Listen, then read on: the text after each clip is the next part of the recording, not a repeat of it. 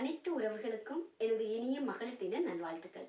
இன்னைக்கு மகளிர் தினம் சிறப்புன்றதுனால நான் பெண்ணை பற்றி ஒரு சிறிய கவிதை சொல்ல போகிறேன் மகளிர் தினம்னாலே பெண்மை. அந்த பெண்மையை பற்றிய ஒரு ரெண்டு நிமிஷ கவிதை.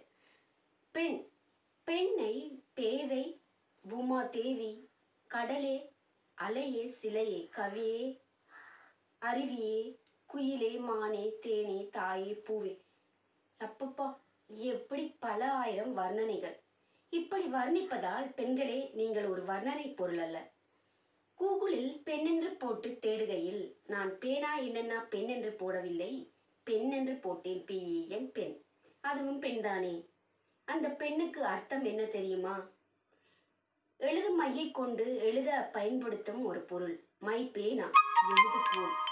எழுதுகோளாக நீங்கள் இருக்கும்போது உங்களை யாராலும் உருவம் கொடுக்கவும் முடியாது உவமைப்படுத்தவும் முடியாது. கோலாக நீங்கள் இருக்கும்பொழுது உங்கள் தலையெழுத்தை எவராலும் மாற்றவும் முடியாது. உங்கள் சுயசரிதையை நீங்களே எழுதுங்கள். பெண் பெண் ஆண்களை விட மனதளவில் மட்டும் பெரித மனதளவில் மட்டும் பெரியவள் அல்ல. அவள் உடல் வலிமையிலும் பெரியவள். அதனால் தான் அந்த கடவுளே ஒரு கருவை சுமக்கும் பலத்தை பெண்ணுக்கு மட்டுமே கொடுத்துள்ளார். இங்கு காளைகளுக்கு மட்டும் கொம்பில்ல புள்ளி மான்களுக்கும் கொம்புண்டு. இங்கு காளிகளுக்கு மட்டும் கொம்பில்ல புள்ளி மான்களுக்கும் கொம்புண்டு.